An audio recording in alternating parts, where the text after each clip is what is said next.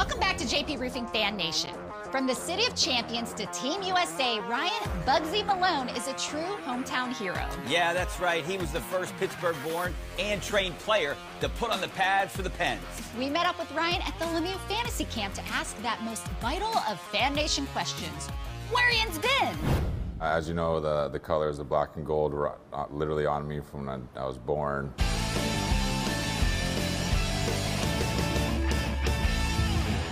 Ryan was destined for the ice. He not only followed his dad into the NHL, but onto the Pens roster and then the history books.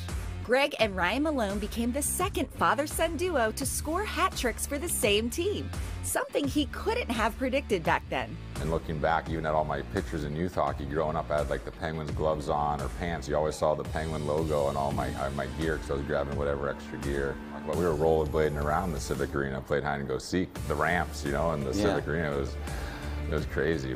And I was legit using like Yags and Recchi sticks growing up, you know, like just from being around the locker rooms and after games, just, you know, being kind of like that rink rat. From a rink rat playing hockey with his idol sticks to playing alongside them on the wing, Ryan's good fortune hasn't been lost on him.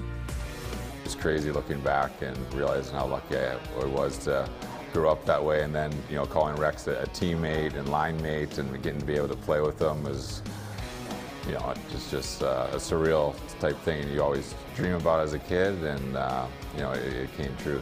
Now Ryan is using his Steel Town status to give back and make a difference in the 412, helping raise funds for local organizations like the Pittsburgh Warriors, a hockey team made up of veterans with service-connected disabilities.